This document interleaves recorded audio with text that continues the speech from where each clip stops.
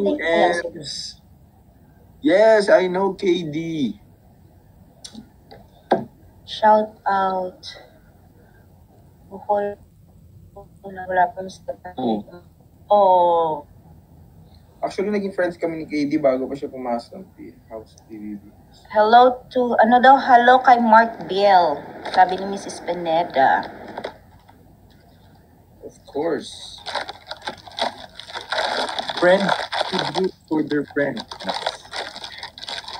Guys, very friend, oo, very friendly lang po talaga yung Kim Paulo na yan. Kaya, char lang. Kailan po vlog in Canada? Pag napunta na po sa Canada. Soon sana. Mommy Bells. Yes. Hopefully, nasa quarantine pa rin po siya. Hopefully, makalabas din.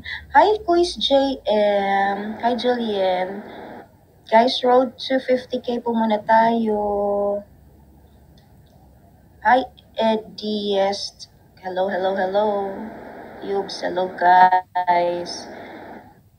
Ilang days yung quarantine? 3 days po magpapaswab na yan. Hopefully, makalabas na yan today. Hopefully, makalabas na later. Actually, hindi Kung maswab siya. Tawag ako na ulit sila. Tawagan. Nabook mo naman, oh, number 11, na konting kembot na lang. Guys, magbalik na tayo sa top 10. Oh. Ay, Isang number lang ba? Baka parang ano, number nila yan. Tita Gracia, Miss Iba ang Josie. Nasyasyak ako sa'yo, Josie. Saglit lang. Thank you. Hi, Mrs. Pineds. Cutie Josie. cat. Shout out. SO family ba yan? Shout out family. Oh, shout out.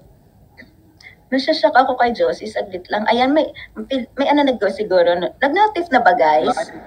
The jungle. Alright, Jay. Alam, ang dami nag-join. Ah, bago lang. O, si nag-notif na eh.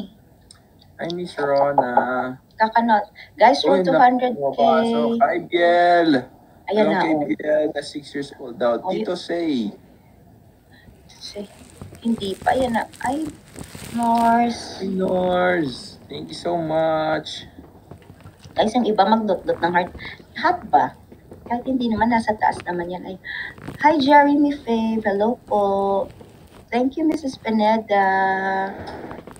Thank you po. Hi, Nikki Santos.